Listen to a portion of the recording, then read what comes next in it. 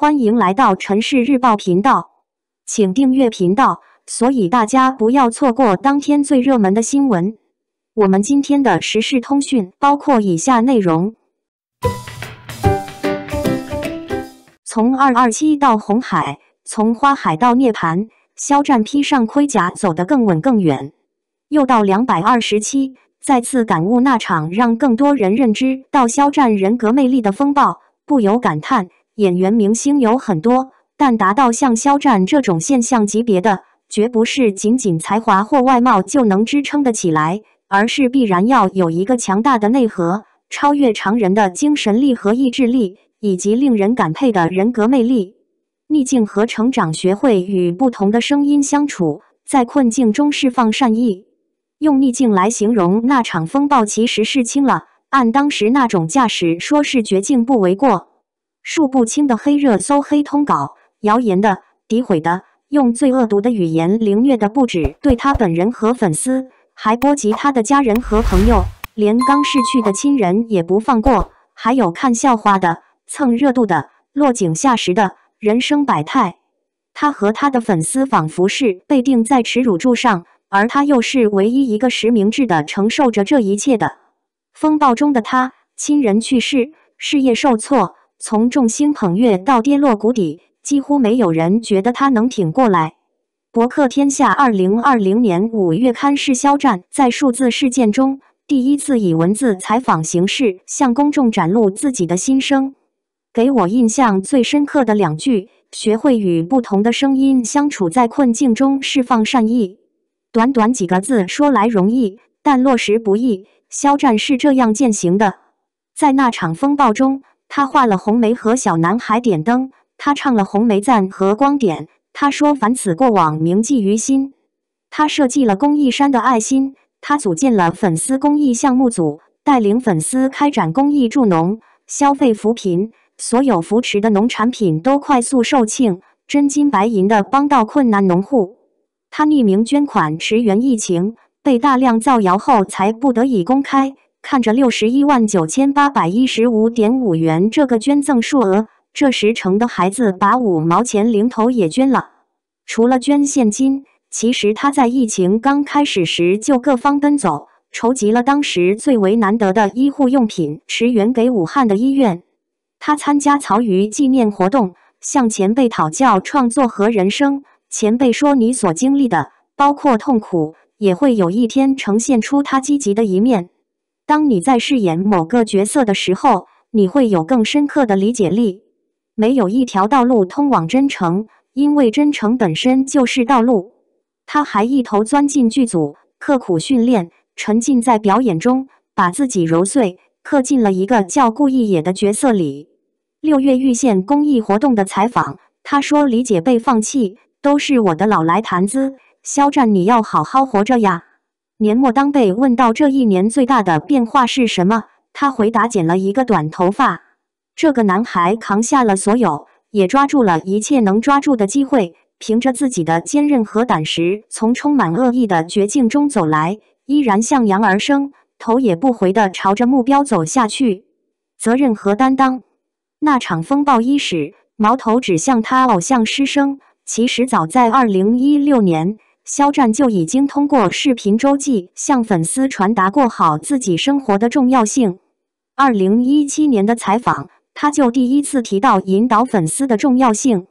就像肖战在那场风暴一周年当天的长文所说：“去年的这个时候，风波发生的非常突然，犹如一个突然爆炸的炸药桶，把我整个人都炸懵掉了。我当时想说话，但是又不知道应该说什么。”心中顾忌很多，生怕一字一句都会被过度解读和放大，继而引发更多风波。那个时候，我还没能清晰地了解整个事件，没有理清楚大家情绪的方向，更加没有明白作为一个公众人物，这时应当承担什么样的责任。因此，我错过了和大家沟通的时机，也错过了承担疏导这种对立情绪的责任。在这一年当中，我不断反思。我作为公众人物，除了不断提高自己的业务能力，更要有所担当，承担起相应的社会责任，敢于去表达正确的价值观。在力所能及的范围内去引导那些喜欢我、关注我的人。我曾经说过，不太认同管理粉丝的说法，因为每一个人都是独立的个体。再后来，我一直反复思考，也许我无法用“管理”这样的词来定义与粉丝之间的关系，但我有正确引导、积极提倡的义务。我记得红海那次肖战在最后环节的感言，是他第一次在公开场合提到要承担更多的责任。不管是之前说的引导，还是这之后多次提到的责任，他一直坚持真诚地表达自我，引导粉丝，释放善意。也一直严格地反思和鞭策自己。就在二零二零年三月到五月，短短两个多月间，三月一日，工作室第一次发声明道歉。四月二十三日，他说不要伤害别人。四月二十五日，工作室呼吁粉丝理智追星，不要超出自己能力范围。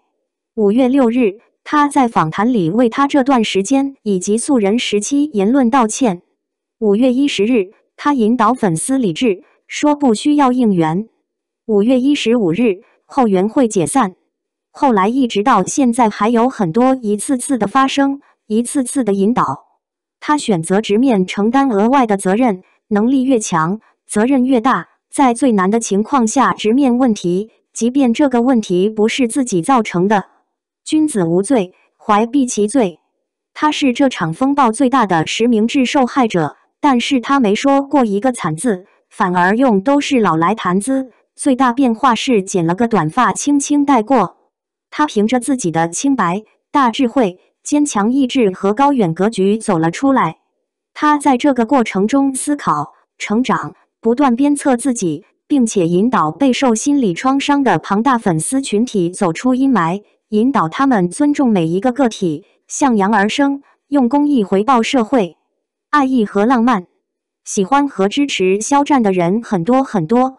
最重要的是，这些不仅是网络上虚拟的 ID，更是现实生活中实打实的真人，所以才会有那么多人为他举起灯牌，形成震撼的红海；才会有那么多人买空整座城市的玫瑰，连成一片花海；才会他代言的同款产品每次都瞬间售罄。当黑暗中一盏盏红灯升起。直到形成辉煌的红海，这个男孩红了眼眶。这是风暴后他第一次直面他的粉丝。从一开始的不安，到看到红海的惊喜、感动、哽咽和释怀，一切尽在不言中。当爱他的人们几乎搬空整个城市的玫瑰，再上爱意，要还给他前一年丢失的春天。他说心意收到了，把春天献给这座英雄的城市和城市里每一个值得被爱的人吧。然后他还不忘留了一朵玫瑰，说有心。二十年初，《人物》杂志对肖战的采访被提炼为他偶然闯入娱乐圈，不带盔甲上阵。而经历了两百二十七风暴的肖战，有如应验了唐三的那句台词：“不流血怎么走自己的路？”经过江湖险恶的历练，他披上自己制作的盔甲，必将走得更远更稳。肖战官方安排二十四小时值班表，实际行动维护肖战，不排除非常手段。近日，肖战网宣官方针对网上存在的各种针对肖战的舆论，包括但不限于私生、诋毁、非官方路透等，多次发出声明，有呼吁，也有实际行动。值得一提的是，官方还特意安排二十四小时排班表，不分昼夜审查和听取粉丝诉求。实际行动维护肖战，当然也不排除使用非常手段。据肖战网宣官方所述，官方已经安排了粉丝二十四小时值班表，在每一个时间点都有专职粉丝在岗。大家发现有违规内容，可以第一时间反馈给我们的值班人员。另一方面，官方还强调会使用非常手段，自然就是屏蔽，真正的粉丝当然不会触碰。实际上，不管是肖战网宣官方，还是影音会，甚至肖战工作室，都曾针对类似的事情发布声明，只有一个目的：维护肖战，不让肖战遭受到麻烦。而我们看到的实际情况是，肖战摆脱不掉。就从非官方路透来说，屡禁不止，甚至肖战所有的待播剧都有，是不是很无奈？不管怎么说，作为粉丝，大家要管好自己，特别是不要围观和评论。有粉丝好心会在评论区提醒大家不要传播，抵制非官方路透，但殊不知自己已经帮助人家实现目标了。因此，我们最好的是不围观，也不去评论。如果大家都去评论的话，话题一下子就有热度了，也会登上热搜榜，让更多的粉丝参与，自然会给肖战带来麻烦。维护肖战从来都不是说说而已，而是发自内心。肖战顺顺利利。二零二二年优爱腾 S 级古偶大 PK，肖战、杨紫诚意剧均在，你更看好哪一部？二零二二年可以算是古偶剧大乱炖的一年，多位明星的剧将会一起上映，百花齐放，就是不知道到时候哪一部电视剧会脱颖而出，成为今年大热的爆款剧。在众多待播的剧里，杨紫的剧也在其中，因为现在已经形成一个习惯的说法，就是由杨紫出演的剧一定会是爆款。下面小编就简单的给网友罗列出即将播出的电视剧，供大家一一参考。总有一款电视剧是你的菜。一、腾讯待播的剧《玉骨遥》是由李尔云任制片人，蒋家俊执导，肖战、任敏领衔主演，方逸伦、王楚然。王子奇等主演的古装剧，该剧根据苍月小说改编，讲述了孤高清冷的空桑皇太子石颖，肖战饰演及热情仗义的赤足郡主朱颜，任敏饰演因一花之恩结下命结溯源，石颖陪伴朱颜成长，两人共同守护空桑王朝的故事。且试天下是由杨晓培、方方出任总制片人，尹涛执导，杨洋、赵露思领衔主演。张丰毅、李若彤、赖艺、宣璐、刘瑞麟、张天阳等联合主演的古装武侠言情剧。该剧根据《清灵月》同名小说改编，讲述风兰溪杨洋饰演和白风溪赵露思饰演携手闯荡天涯的故事。《梦华录》是由杨洋执导，刘亦菲、陈晓领衔主演，柳岩、林允、徐海乔、戴旭联合主演的女性古装励志剧。该剧根据关汉卿原曲画《赵盼儿风月救风尘》改编，讲述了赵盼儿刘亦菲饰演、宋引章陈晓饰演与孙三娘三人在经历了举步维艰、种种磨难后，姐妹三人终于将小茶房经营成了汴京最大的酒楼。众子是由巨浪影视出品，刘国辉执导，杨超越、徐正熙领衔主演的古装仙侠剧。该剧改编自蜀客同名小说。讲述了天生煞气、注定入魔的少女众子杨超越饰演与睥睨六界、绝世风华的尊者洛音凡，徐正熙饰演辗转三世师徒相恋的故事。星汉灿烂是由吴磊、赵露思领衔主演的古装传奇剧。该剧改编自关心则乱的小说《星汉灿烂》，幸甚至灾成家女名少商赵露思，因战乱自幼被父母留在祖母身边，成为留守儿童。沈娘郎心纵容，意图将其养成废人。面对重重陷阱，程少商为活命，假荒诞，真苦学，掩盖锋芒，等待父母归来。可拨开乌云见月明时，却因多年疏离，致使亲情已难再拾。缺爱的程少商，遇心地义子凌不疑，白鹿山才子袁慎，世家子弟楼瑶，三人各有优劣，在选择适婚者上。程少商既自卑又务实，尽管情感之路颇多坎坷，但他从不后悔自己的每次选择。在与凌不疑的相处之中，也阴差阳错卷入了凌不疑的家庭与身世之谜中。种种事件，程少商屡立奇功，也从凌不疑的家庭关系中学会与父母相处之道，以及如何经营自己的爱情。同时，程少商与凌不疑也在这些经历中各自变化成长，慢慢与自己和家庭和解，并坚守内心的正义，携手化解国家危机，成就一段佳话。二、优酷待播剧《沉香如屑》是由欢瑞世纪出品，郭虎、任海涛执导，杨紫、程毅领衔主演的仙侠剧。该剧改编自苏沫的同名小说。主要讲述了女主严旦与应渊君之间的爱情纠葛故。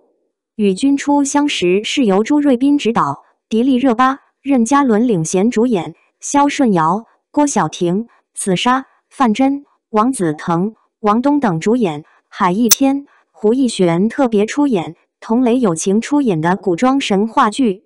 该剧改编自九路飞香的小说《玉娇记》，讲述了玉灵师纪云和和鲛人长义冲破束缚，历经千难万险，终成眷属。携手守护苍生的故事，《安乐传》是由上海影视传媒股份有限公司出品，程子瑜、马华干、苏菲执导，迪丽热巴、龚俊、刘宇宁领衔主演，夏楠、裴子天、龙水婷、尚新月、秦晓萱、白冰可、张怡凯等主演的古装虐恋电视剧。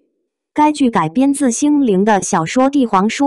主要讲述了晋南安乐寨大当家任安乐与太子韩烨之间虐心又感人的爱情故事。《长月烬明》是由塔塔文化出品，鞠觉亮执导，罗云熙、白鹿领衔主演，陈都灵、邓为、S N H 四十八、孙珍妮、耿叶婷、李佩安、余波、黄海冰、郑国林、张芷溪、肖顺尧、汪希朝主演，王一飞特别出演。陈柏豪友情出演的仙侠剧，该剧改编自藤萝未知的小说《黑月光拿稳》B.E 剧本，讲述了衡阳宗掌门之女黎苏苏与一代魔神旦台烬相爱相杀的故事。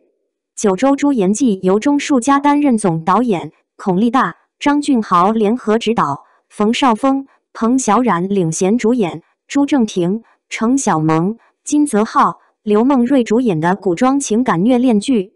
该剧以九州为背景，讲述了一段甜虐交织的爱情故事。《浣溪沙》是由高义俊执导，佟丽娅、韩庚、何润东、陈都灵领衔主演的古代传奇剧。该剧讲述了吴越两国在十数年间复仇与争霸的历史，以及西施、范蠡、夫差、郑旦四人间的爱恨情仇。《星落凝成糖》是由完美世界影视出品，刘宁担任总制片人。朱瑞斌执导，陈星旭、李兰迪、陈牧驰、何宣林、秦天宇、周湛、丹增进美等主演的古装神话剧。该剧根据作家一度君华的同名小说改编，讲述了人族皇室中一对性格迥异的双生姐妹，因一场乌龙导致错嫁姻缘，不仅闹出笑话无数，更牵扯出两段浪漫唯美之恋的古装神话爱情故事。风起西周是由杨晓波执导，林继东联合执导，古力娜扎、许魏洲、刘端端领衔主演，曾毅轩、张涛主演的古装传奇爱情剧。该剧在优酷视频播出。该剧改编自蓝云书小说《大唐明月》，讲述了库迪琉璃与裴行俭婚后琴瑟和鸣，夫唱妇随，后裴行俭被贬，琉璃陪伴丈夫远赴西周上任。与当地世子曲重遇相识的故事。三，爱奇艺待播剧《一时冲动七世吉祥》是由杨超越、丁禹兮主演的古装剧，《倾城忆清欢》是由福策新执导，钟汉良、袁冰妍领衔主演，古嘉诚、张悦、董又霖、杜雨辰主演的古装剧。该剧改编自拈花惹笑原创的长篇古言小说《王的女人谁敢动》。讲述了权倾天下的北木战神九王爷和平行时空穿越而来的社畜实习医生艾清欢之间出生入死、相爱相杀的故事。《云香传》是由爱奇艺出品，奇星工作室匠心呈现，青春你好传媒、完美世界影视联合出品，由达志执导，陈晓、毛晓彤领衔主演，唐小天、许灵月、刘关林主演，秦岚特邀主演。王劲松特别主演，惠英红、黄海冰特别出演，宁鑫、彭博、王子睿、李洪涛、冯建宇、冉旭、刘迪、任洛敏等主演的江湖奇谋剧。该剧改编自方白羽小说《千门》，主要讲述了翩翩公子云香背负门中使命步入江湖，意外结识晋萨女侠舒亚楠、世家公子苏明玉、快手刀客金彪等几位好友。众人在波诡云谲的江湖纷争中快意恩仇、成长蜕变、捍卫仁德与心中正义的故事。这么多的古偶电视剧看下来，是不是已经眼花缭乱了？没关系，选择自己的剧来看，总有一款适合你，到时大家一起追剧啊！感谢您观看视频。如果您觉得本时事通讯有用，请不要忘记点赞、评论和订阅。祝您生活愉快，充满活力！再见。